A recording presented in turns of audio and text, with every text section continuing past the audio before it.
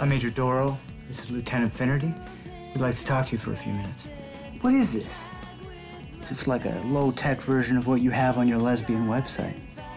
Is Captain Williams on there? One gun for women for home defense. I just want something to scare somebody.